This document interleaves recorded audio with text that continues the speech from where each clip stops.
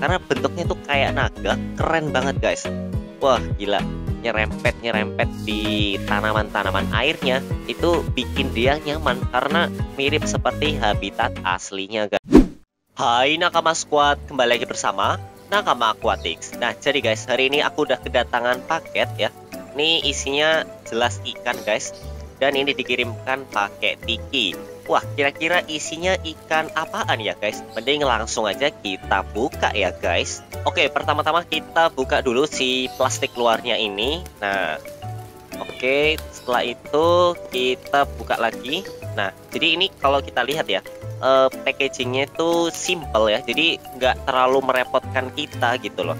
Kadang kan ada tuh yang packagingnya terlalu rapet, bahkan sampai bikin ribet gitu. Nah, kalau yang ini salah satu yang simple gitu guys. Nah ini isolasinya tinggal kita gunting. Nah selain simple tapi juga tetap aman. Wah ini dia guys. Kita sudah melihat ya tanda-tanda isinya ini. Nah jadi pertama ini isinya ada stiker fish kinian guys. Jadi ceritanya aku ikutan lelang ikan di fish kinian guys. Wah jadi aku langsung ceritain aja ya. Jadi aku ikutan lelang ikan cupang guys. Oke, nih ini stikernya kita dapat dua. Nah, sekarang kita buka kira-kira ikan cupang apa ya guys? Satu, dua, tiga, dan ini dia guys, ikan cupang ya, hasil lelang dari fish kinian. Bentar, e, ini mana tadi plastiknya guys? Oh ini ini ini, ini. Packagingnya cukup aman ya guys nih. Jadi isinya adalah ikan cupang half moon dumbo ear ya lavender color cenggecing wah namanya panjang juga ya. Tapi meskipun namanya panjang uh, ini ikan cupangnya bagus banget bahkan uh, ini pertama kali aku ikutan lelang ikan cupang guys. Ini harganya cuma 260.000 doang dan waktu aku cek-cek di Tokped itu harganya harusnya 700 ribuan. Wah bener-bener kesempatan banget sih. Tidak lupa ya pertama-tama hal yang harus kita lakukan ya setelah ikan datang itu adalah e, merendam si kantong plastik ikannya yaitu proses aklimatisasi guys.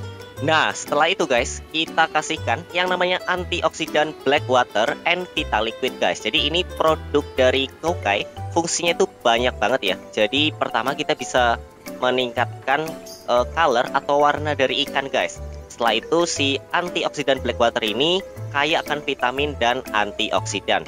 Selain itu dia bisa meredam stres dan juga ningkatin uh, pertumbuhan yang sehat guys. Jadi uh, apa ya manfaatnya itu baik banget lah buat ikan. Nah selain itu dia juga menyerupai apa ya airnya itu bikin dia nyaman banget karena menyerupai habitat aslinya guys. Wah ini nggak kebayang dong. Ikan pasti bener-bener nyaman banget ya. Jadi uh, si antioksidan black water ini cocok banget ya buat hal-hal seperti ini ya. Harga dari antioksidan pun juga nggak mahal-mahal amat loh. Jadi ini kamu bisa cek di Tokopedia ya. Kamu cari aja Koukai antioksidan black water guys. Jadi tunggu apa lagi? Yuk order sekarang guys 15 minutes later. Ya setelah 15 menitan Waktunya kita buka kantong plastiknya guys. Jadi uh, untuk buka plastiknya Jangan terlalu barbar guys Karena ini ikan cupang mahal guys. Sombong amat.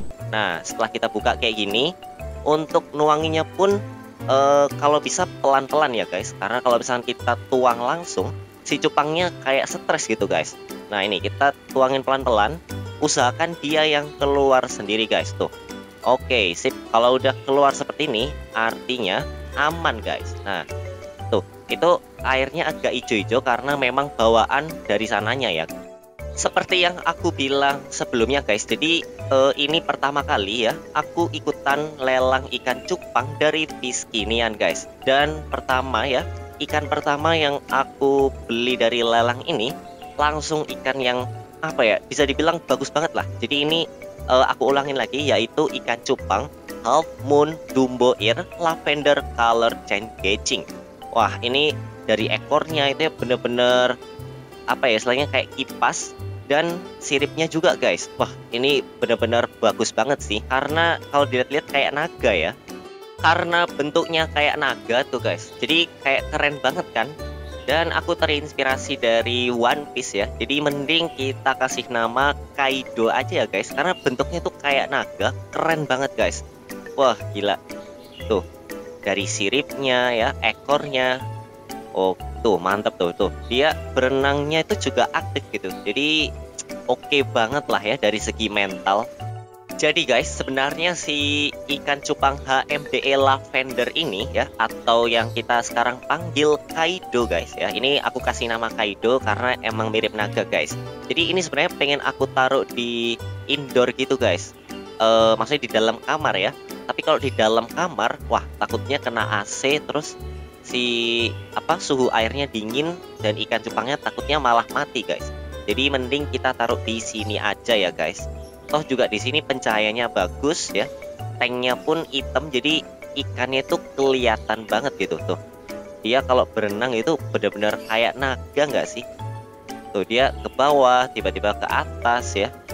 Dan yang bikin apa ya nggak terlalu bosan itu sirip sampingnya gitu guys. Tuh dia tuh gerak-gerak terus ya. Seolah seperti kipas guys Selain itu guys, kita tambahin yang namanya Amazon Frogbit. Jadi Amazon Frogbit ini salah satu tanaman air ya yang uh, pasti disukain banget gitu sama ikan gapi, termasuk ikan cupang juga guys. Nih, si Kaido ini pasti suka banget.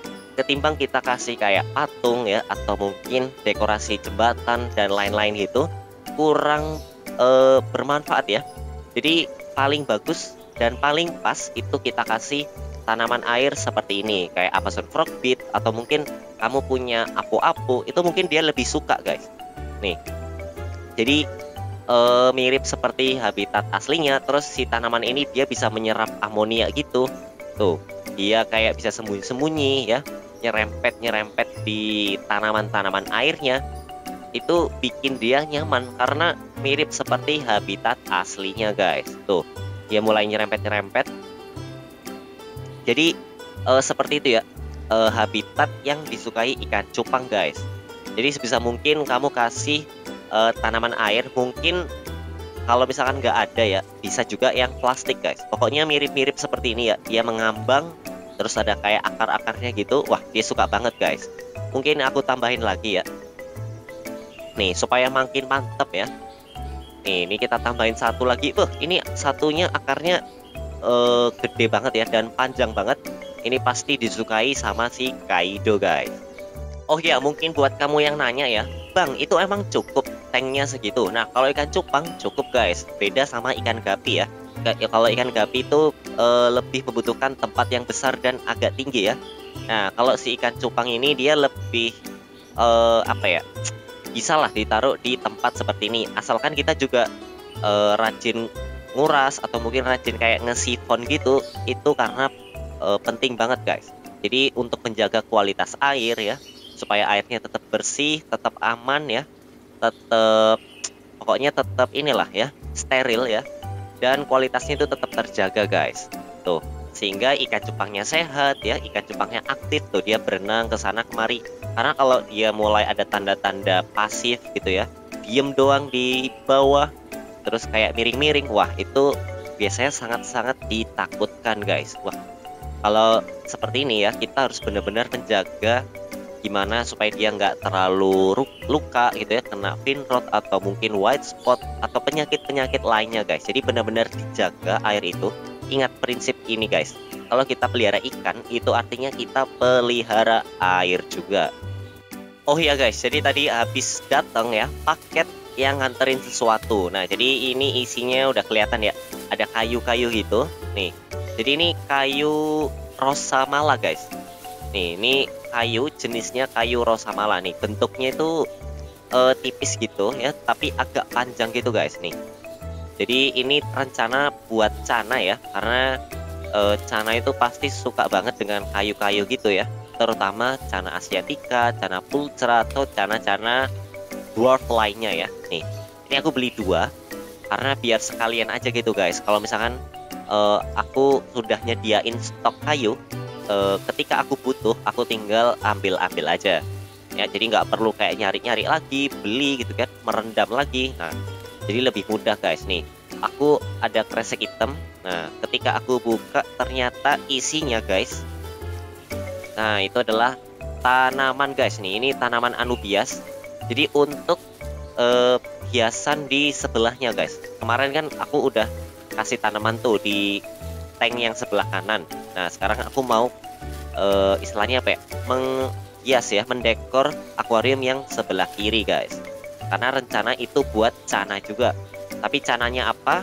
Tunggu di video-video selanjutnya nih. Aku ada batu ya, ini batu erangga. Nah guys, jadi batu erangganya tadi itu kita celupin di kontainer kuning ini sebelum kita masukkan ke tank ikan aslinya.